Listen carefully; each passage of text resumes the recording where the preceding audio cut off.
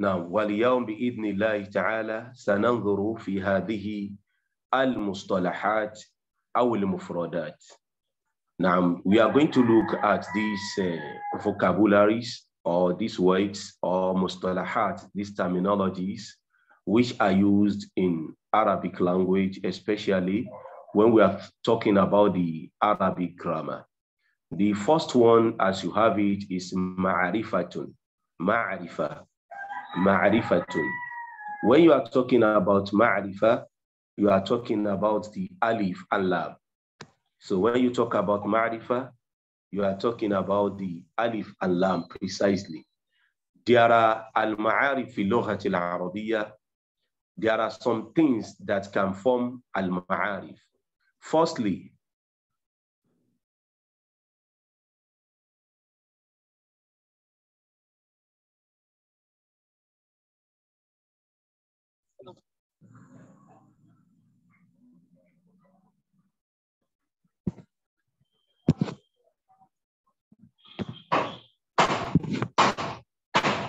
نعم so بإذن الله تعالى سننظر في هذه المفردات we are going to look at these uh, these words that you have on this on the screen and these words they are very important that we should understand them the first one is ma'rifa when we are talking about ma'rifa in arabic we have what we call al-ma'arif these al-ma'arif are about seven or eight in arabic when you talk about ma'rifa, it means definite, something that is known.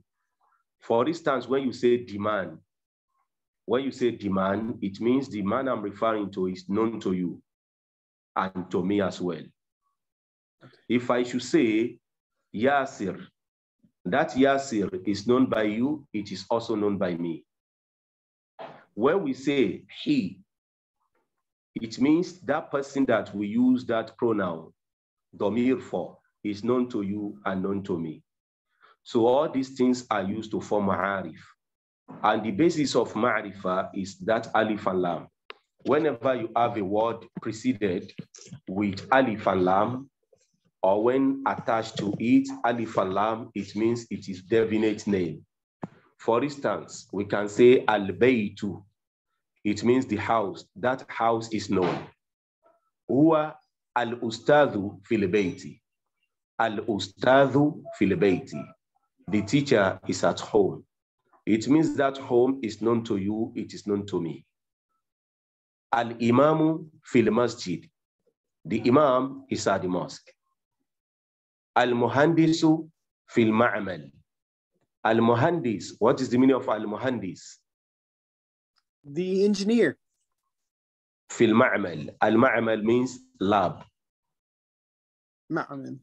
Yes, ma'amal. A place where we work is called ma'amal. Amalu is work.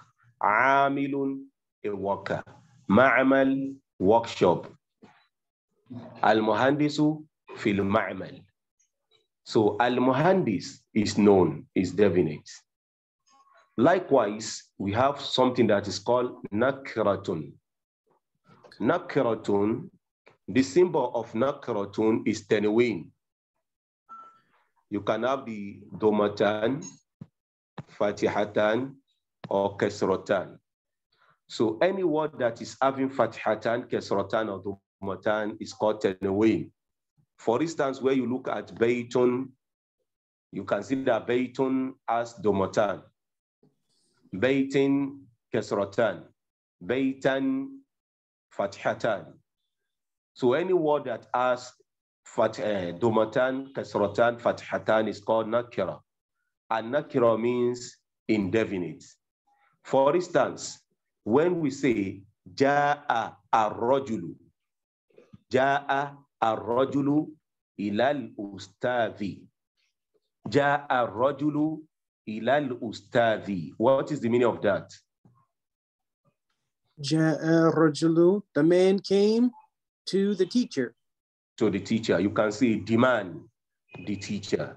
Demand the Amen. teacher. Ar-Rajulu, al-Ustad. It means we know the Ustad and we know the rojul, We know the man.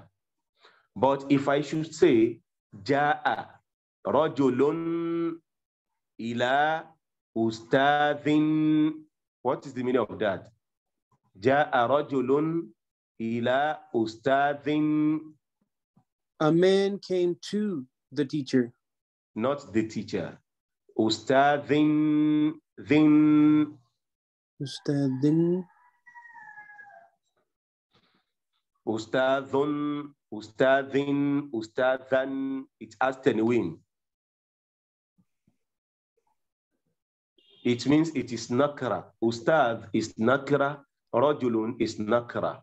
In that case, there is no alif and lam in ustad. So we don't say the teacher. We say a teacher.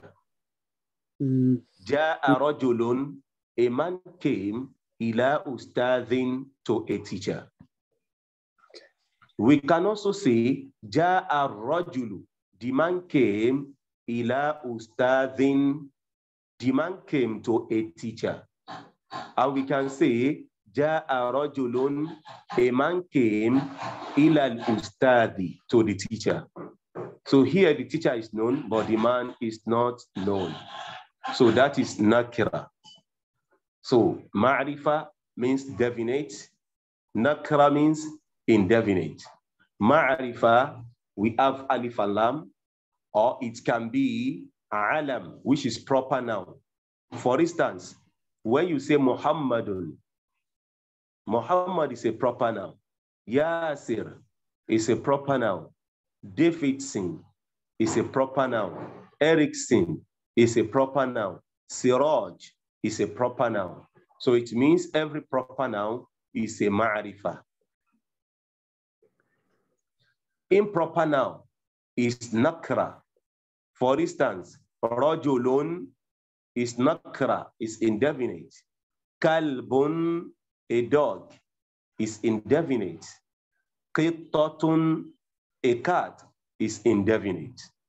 So I hope you understand ma'rifa and nakira. Yeah. Now, in Arabic grammar, we also have what is called mubtada. They call it al-mubtada wal-khabar. Al-mubtada wal-khabar. What is al-mubtada and what is al-khabar?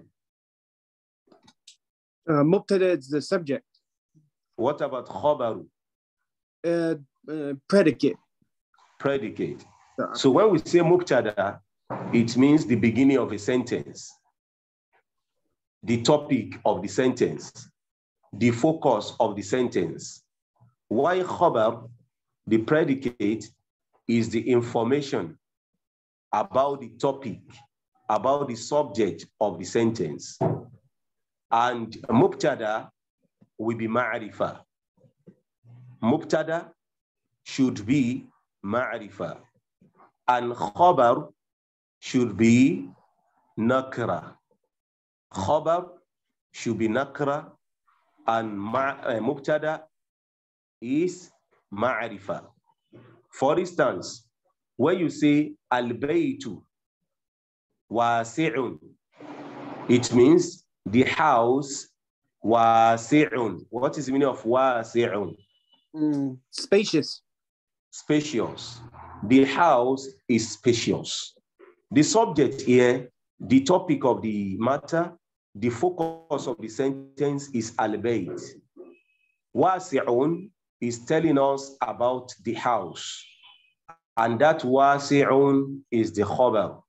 Why al-baytu is the subject, which is the mubtada. For instance, Yasirun rajulun. Yasir is alam, a name of a particular person. Yasirun rajulun. Rajulun is common noun, rajulun. And you can see that rajulun is having tanween. So rajulun, Yasiru rajulun. Yasir is a man. So rajulun is the khabar. Why Yasir is the subject. That is the mubtada. Is the mubtada. Al-ustadhu Waqifun. The teacher is standing. Al-Ustadh is the mubtada. Waqifun is the khabar. Is the khabar. Al-madrasatu, the school. Baytul ilmi. Baytu al-ilmi. Al-madrasatu is the subject of the sentence, the mubtada. Baytul ilmi. Baytu means house. Al-ilmu means knowledge. Baytul ilmi means house of knowledge. So Baytul ilmi, that is mudaf and mudafu ilayhi. And the ashibuhul jumla. But jumla is al-madrasatu Baytul ilmi.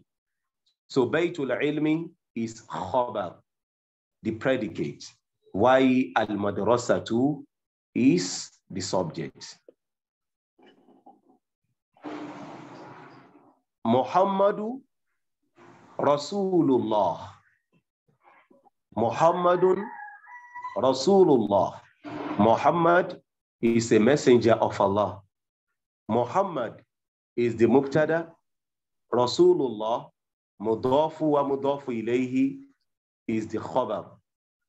Is the khabar. Allahu ahadun.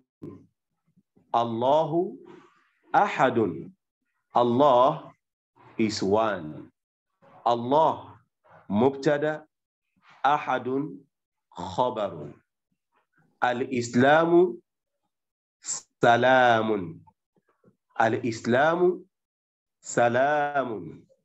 Al-Islam is the ma is ma'rifa and it is the mubtada. Salamun is nakra. So Islam is peace. Ad-dinu yusrun. Ad-dinu yusrun. The religion is easy. The religion yusrun. The deen, the religion is easy. Ad-dinu mubtada. Yusrun easy, which is the khabar. I hope it is clear. Now, part of what is important to know in Arabic grammar is what is called sifatu and mausuf. Sifatun and mausuf. Sifatun can also be called na'atun. You can see na'atun. Na'atun. Then the mausuf can be called manu'ud. Manu'utun. Na'atun and manu'ud. Na'atun and manu'ud. That is sifatun wa mausufun. Sifatun means adjective, adjective, sifatun. Mausufun means the qualified word. Sifatun will tell you about a word. Mausuf is that word that the adjective is describing. That is the described word. Is mausuf. Na'atun means sifa. Man'ut means mausuf. For instance, if you say rajulun kabirun, rajulun kabirun, a big man. Imra'atun saminatun. Imra'atun saminatun. You know the spelling of samina? Uh, Sin, mim, ya, nun, ta. Saminatun. okay. Saminatun. Imra'atun saminatun. Imra'atun saminatun. A fat lady. Imra'atun saminatun. Then you can say rajulun nahifun. Rajulun nahifun. Nahifu means slim. Nahifun. Rajulun nahifun. Imra'atun saminatun. So rajulun, rajulun, nahif. Rajulun, a man. Nahif, thin or slim. Slim is telling us about a man. So slim is the adjective, which is the nahif, is the sifa. Then rajulun is the mausuf. Imra'atun saminatun. Saminatun is the sifa, na'atun, the adjective. Imra'atun is the manu'ud, aw mausuf, is the word that is qualified. So this is part of what you can have. So in our example here, we said, Baytun abiyadun. Baytun abiyadun. You can see, Baytun abiyadun, which means a white house. You know, in the US over there, you say the White House. So we say Al Baytul Abiyadu. Because of that D, we are going to add Alif Alam in Al Bayt. We are going to add Alif Alam in Al Abiyadu. You can see Al Baytu Al Abiyadu. Can you see? No. Al Baytu Al Abiyadu the white house. Al-Baytu al-Abiyadu, the white house. Then the next one, I hope that is clear. Sifatun and Mausuf, adjective are the word that it qualifies. Then another term which is very important is mudafu and mudafu ilayhi. Mudafu and mudafu ilayhi. Idafatu. Al-idafatu. Adafa. When you say adafa, it means you join something to another. That is the meaning of adafa. Adafa means you join something to another. So when you now say mudafu, it means something that is joined to another. Then mudafu ilayhi, something to which other is joined. Let us see. Baytullahi. What is joined here? Allah wa bait. Uh-huh. You can see Baytun and you see Allah. So you join Bayt to Allah. It means Allah possesses debate. Debate is possessed by Allah. What is possessed is called Mudaf. The possessor is called the Mudafu ilayhi. Qalamu Yasirin. Yasir's pen. Qalamu Yasirin. Yasir's pen. Dawlatu Yasirin. Dawlatu. What is the meaning of Dawlatu? Dawla. Dawlatu. Dawlatu. This is da. Daw. Dawlatun. Mm, I can't. Dawlatun means country. Dawla. Country. Mhm. So Dawlatun, you can write it. You can write it. Mm-hmm. I say Dawla to Yasirin. Yasir's country.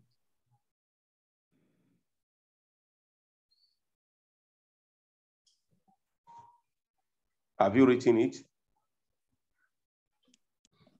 Dawla to Yasirin. Have you written it? No. Mm-hmm. Dawla to Yasirin. دولة ياسر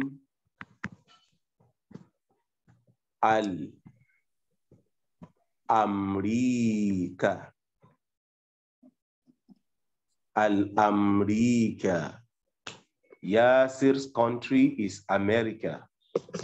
Yasir's country, Yasir's country is America. Dawlatu Yasirin Al-Amrika. Al-Amrika. Have you written that? No. Mm-hmm. Barakallahu feek. So dawlatun. Mm-hmm. Dawlatun. Dawlatun. Uh-huh. In that case, because of mudaf and mudaf you don't say dawlatun anymore.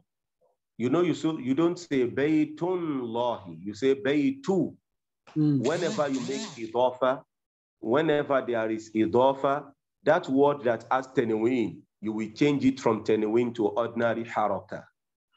If it is fatihatan, you change it to fatiha. If it is kasratan, you change it to kasra. If it is domatan, you change it to doma. You don't say baytun lahi. You say baytu. You don't say dawlatun yasir. You say dawlatu. Dawlatu yasir. Mhm. That is mudafu and mudafu ilayhi. The first one is ma'rifa, which means definite. And you can form definite with eight, about eight things. But here we have mentioned only two. The first one is when a word is having alif and lam.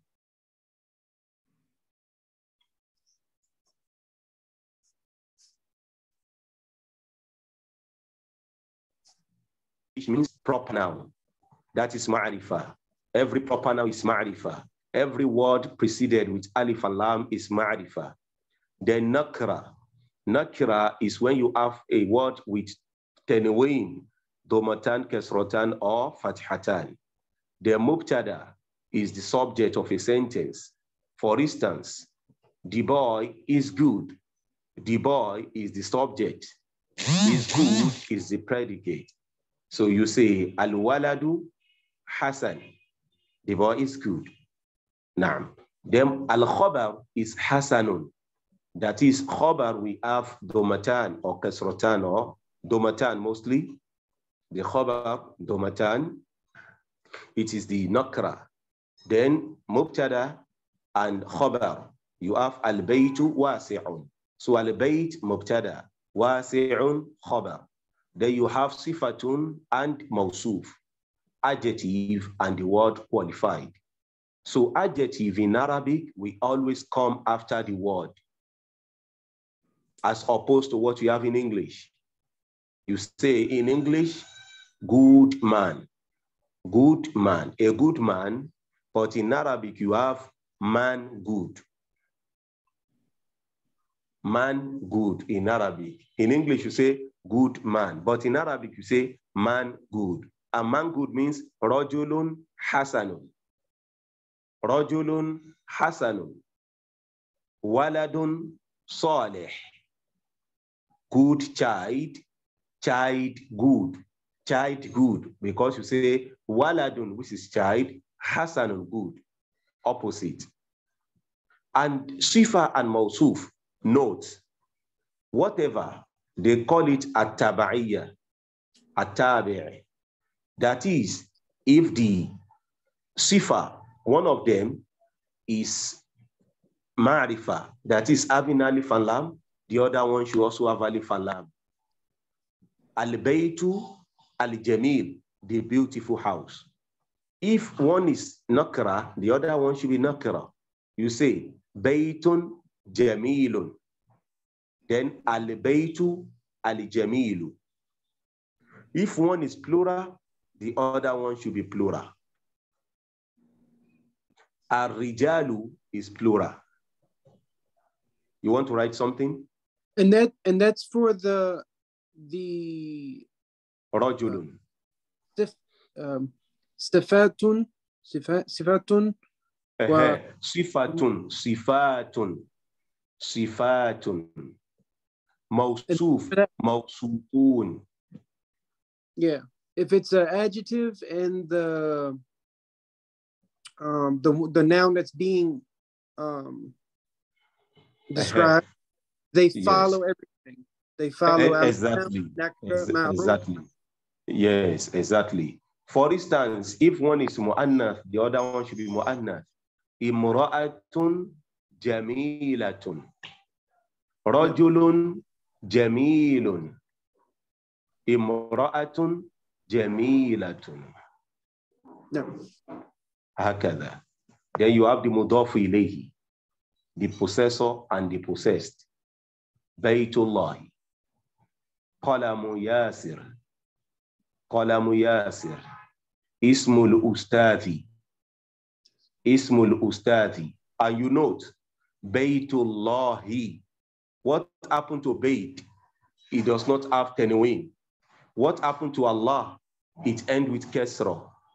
Kolamu, you don't say Kolamun, Kolamu Yasirin. What happened to Yasir? It ends with Kesra. Ismul Ustadi. What happened to Al Ustad? It ends with Kesra. Ismul Ustadi, the teacher's name. No. Zawjatu Zawjatul Muallimi. Zawjatu المعلم وهكذا بارك الله فيكم وهذه المصطلحات مهمة جدا These mustalahat are very important to know. And as we said that in learning grammar, we have to simplify everything. Just for you to understand, for instance, we mentioned in mudaf and mudaf ilayhi, two things have to be noted. The first one is that your mudaf should not have nakra. Your mudaf should not have what? Nakra. You don't say baytun lahi. You, so, you don't say qalamun yasirin. That is the first thing about your mudaf. Your mudaf should not have what? Not Tenwin. Tenwin. It should not have tenwin. The second thing is that your mudaf, it is if it is jam'u salim, mudhakkar, like muslimuna, that noon at the end should be removed. If you want to add muslimuna to any other word as idofa, you have to remove that noon. You only say muslimun for instance, I want to say Muslims of Nigeria. I don't say Muslimuna Nigeria. I say Muslimu Nigeria. Muslimu Nigeria. So that is the thing you need to note. Hadfu tenwin wa noon. You have to remove the tenwin and you have to remove that noon. I hope that is clear.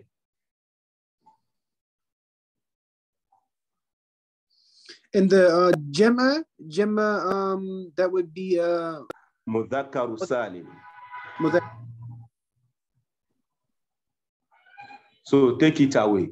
You can write that rule in any language that is more clearer to you. Just Yeah. note it. The tenwin, take it away from the mudaf. Then the mudaf, if it ends with the noon of jam'u, take that noon away. And You the understand?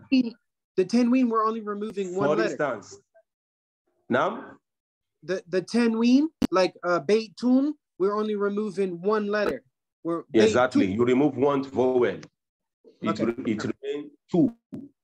Yes. For instance, muqimuna, muqimuna salati.